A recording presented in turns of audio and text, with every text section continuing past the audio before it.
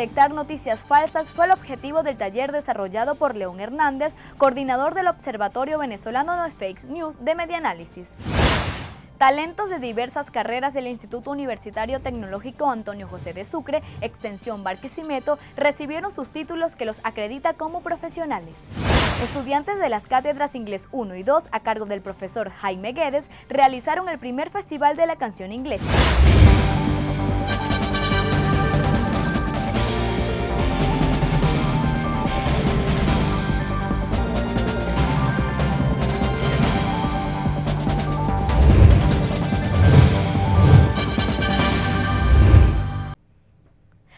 Buenos días Centro Occidente y todos los que nos ven a través de las cámaras de UFT quien tiene el placer de llevarles las noticias más destacadas de esta casa de estudios, María Fernanda Crespo. Comencemos. Comprometidos con la formación de nuestros talentos, además de la actualización de contenidos en las diferentes cátedras, el Decanato de Fases y Media Análisis realizaron un taller de detección de noticias falsas, fake news, que se desarrolló en la sala de edición audiovisual de la sede UFT Ujano. El taller realizado forma parte de la agenda establecida al principio del semestre en alianza con la Asociación Civil Medianálisis, con el propósito de brindarle una formación integral a los estudiantes de nuestra casa de estudios, en materia de investigación de las noticias falsas y la verificación de datos conocida como fact-checking. La comprensión e identificación de las fake news o noticias falsas en la educación del profesional de la comunicación social es esencial, por lo que el Departamento de Fake News de Media Análisis ha creado conceptos básicos que faciliten su asimilación y que puedan ser compartidos con todos aquellos que posean cuentas en redes sociales. El objetivo es complementar los conocimientos de los estudiantes relacionados con las redes sociales y los medios digitales, cuyo tema fue abordado brevemente por el grupo de fact-checking asociado con Media Análisis conocido como cotejo.info, el pasado mes de julio, y fue ampliado en esta ocasión para cubrir las distintas modalidades como las noticias impresas. Análisis trajo un nuevo producto, un nuevo monitor de la acción pública que junto a cotejo.info va a tratar de verificar las noticias del recurso público. Ahora estamos presentando el Observatorio Venezolano de Fake News, que se trata de una plataforma que desmiente las fake news que van circulando en redes y devela las estrategias y las estructuras morfológicas de estos bulos que tanto engañan y manipulan a la opinión pública. Invitamos a todos los estudiantes de comunicación social a estar atentos a los próximos eventos a cargo de la organización Media Análisis y cotejo.info, consultando el perfil de Instagram de nuestra Casa de Estudios Universitarios arroba uft.be. Luis Chirinos, Universidad Fermín Toro. Nuevo grupo de talentos del Instituto Universitario Tecnológico Antonio José de Sucre, extensión Barquisimeto, recibieron sus títulos que los acredita como profesionales de la República en un acto de grado realizado en el auditorio Dr. Raúl Quero Silva.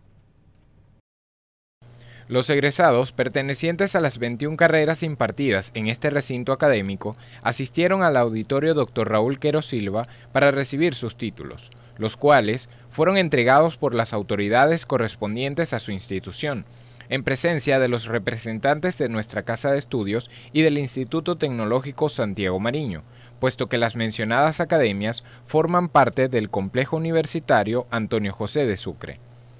Luis Lozada, director del instituto, comentó para las cámaras de UFT Televisión la importancia que tiene para el complejo universitario en la formación de nuevos profesionales y los retos que conlleva este tipo de compromisos. Estamos eh, muy felices de este nuevo acto académico donde han ingresado 91 nuevos profesionales en diversas áreas, tanto en el área tecnológica como en el área administrativa, en la promoción número 56. Nuestra institución, el Tecnológico Antonio José de Sucre, tiene presencia en el Estado Lara desde hace 36 años y han egresado más de 9.000 profesionales en las diversas áreas que se encuentran no solamente en Venezuela, sino también fuera del país. Por su parte, el director del complejo Antonio José de Sucre, doctor Jorge Ramón Benítez, expresó el orgullo y la alegría que significa para su organización egresar a los estudiantes e indicó los objetivos que tiene el complejo para los próximos semestres por venir. Bueno, en esta graduación realmente pudimos entregarle al aparato productivo regional nacional y por qué no decirlo internacional, 250 técnicos superiores de diferentes carreras, egresados de nuestra querida institución tecnológica Antonio José de Sucre.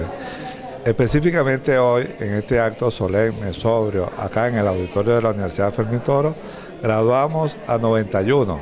Los otros eh, están en espera de obtener sus títulos, pero ya terminaron sus requisitos académicos. Desde la Universidad Fermín Toro felicitamos a los egresados y les deseamos éxito y un futuro lleno de oportunidades como las que han sido brindadas por sus academias.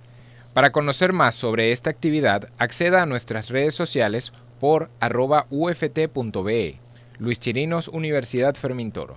Al regreso tendremos más información sobre las actividades más destacadas de esta casa de estudio.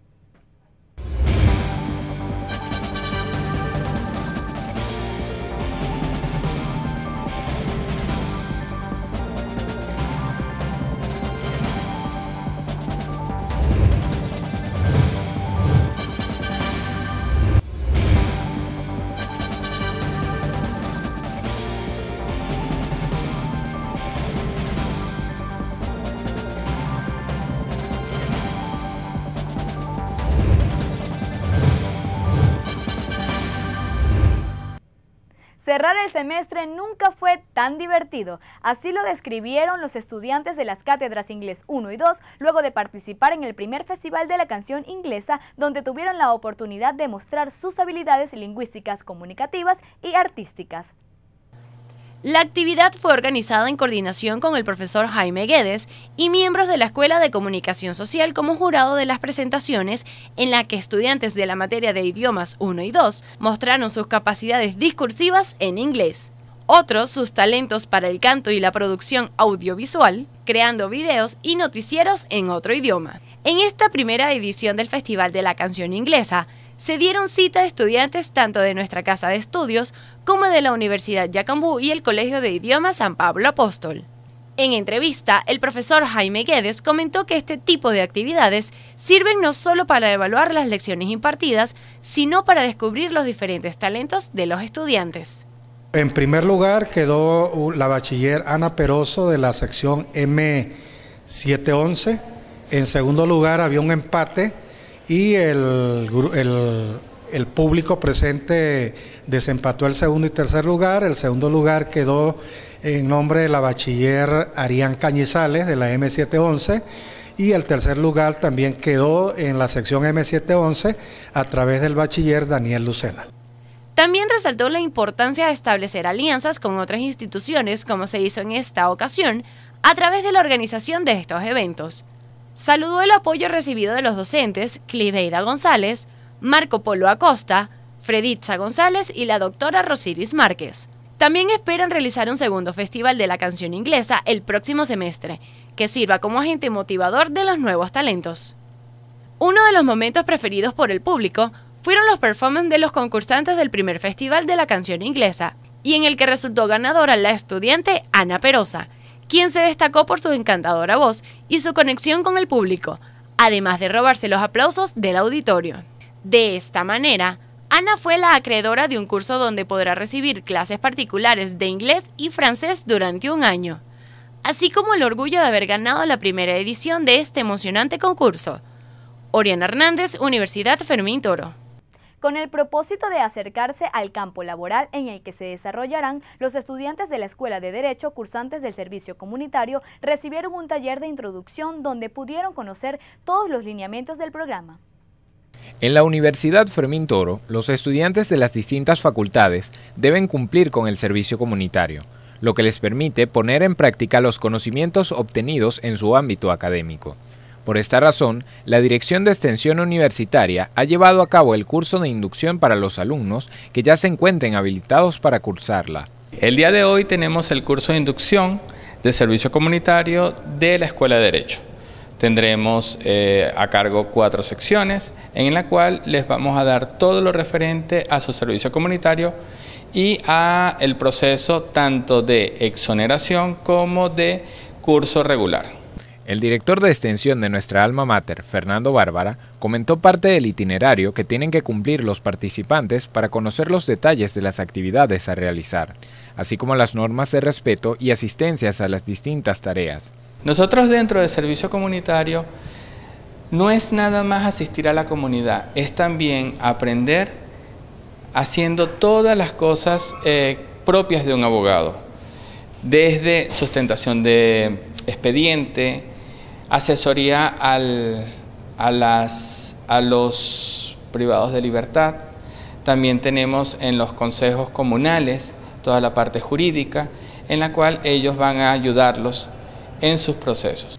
De esta manera, los estudiantes se preparan para poner en práctica los conocimientos y demostrar a la comunidad venezolana la formación que han obtenido en nuestra institución. Luis Chirinos, Universidad Fermín Toro. Amigos, al regreso les presentaremos una nueva edición de Pensando Verde con nuestra compañera Estefanía Suaje y nos pondremos al día en visión tecnológica con Luis Chirinos.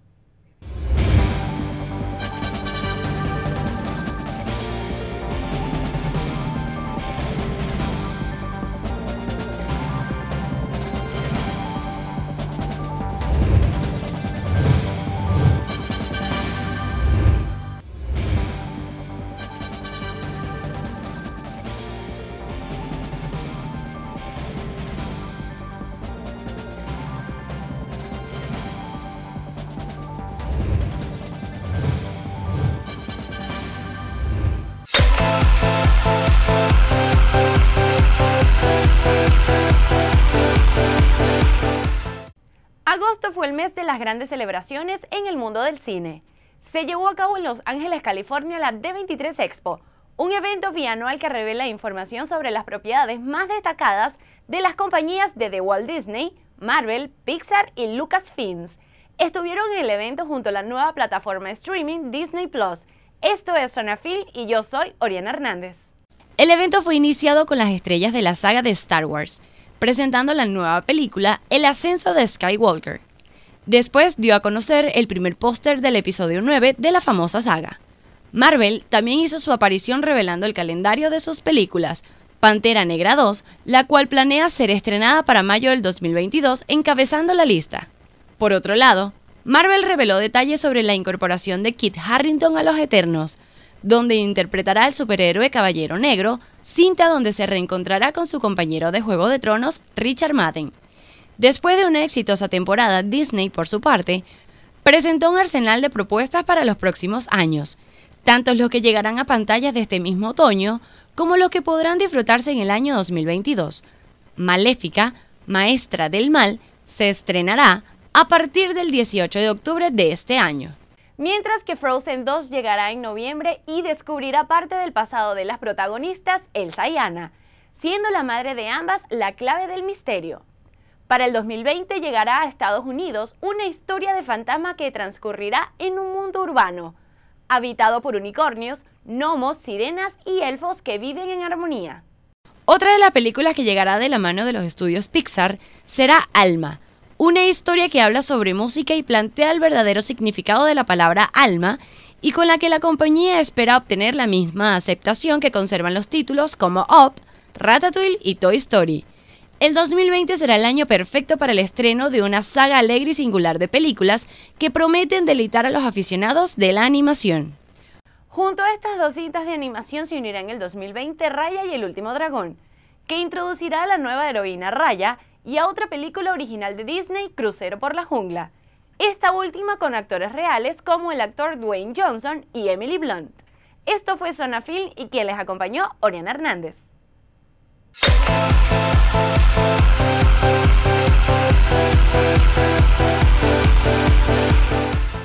El consumo de plástico se ha convertido en un problema ambiental. A esto se le suma la demanda incontrolada del uso de bolsas de plástico que van a parar a los paisajes naturales impactando sobre todo a la biodiversidad acuática. Estefanía Suaje nos hablará más sobre este tema en Pensando Verde.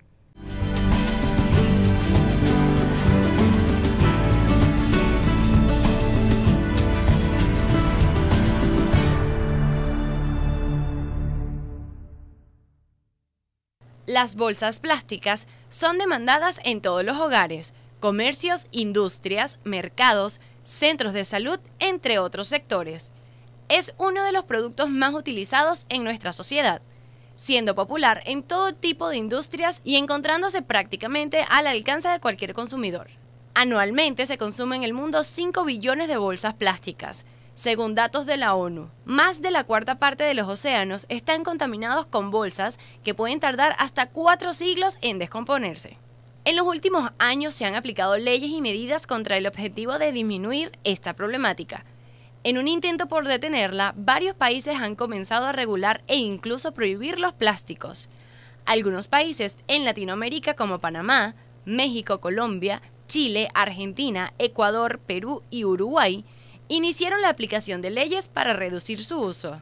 A escala internacional, países como Bangladesh, Francia, Kenia también han dejado de usar bolsas de plástico.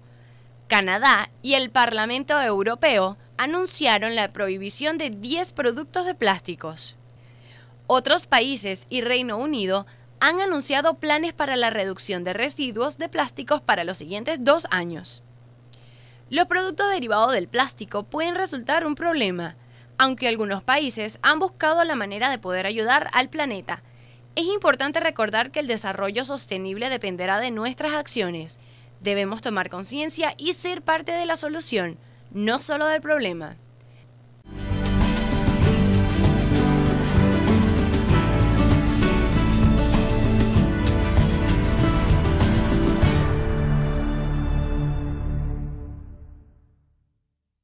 En nuestra sección de tecnología, nuestro compañero Luis Chirinos nos habla sobre los planes de Spotify para incluir en sus servicios la difusión de podcasts.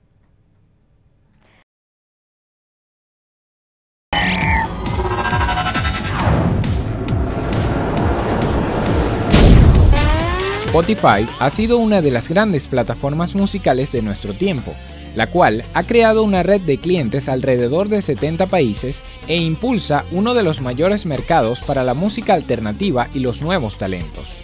Y aunque actualmente ha posicionado a más de 77.000 artistas provenientes de todo el mundo, ahora quiere apoyar al talento creativo con la posibilidad de abrir tu propio podcast. El portal de Gembeta ha reportado la compra de Amchor y Gimlet Media por parte de Spotify para reforzar su futuro departamento de podcast y recientemente un grupo de usuarios de la plataforma expertos en programación encontraron un botón para crear podcast que envía a los usuarios a Anchor, lo que apunta que pronto Spotify añadirá este botón a su aplicación y desde su herramienta Anchor podremos crear, editar y subir un podcast directamente a Spotify y otras plataformas de forma sencilla. Conociendo además que Spotify cuenta con 108 millones de usuarios premium, no es de extrañar que la cantidad de podcasts aumente considerablemente en el futuro y mantiene la puerta abierta a que los usuarios comunes disfruten también de esta posibilidad. Quien narró para ustedes, Luis Chirinos, Universidad Fermín Toro.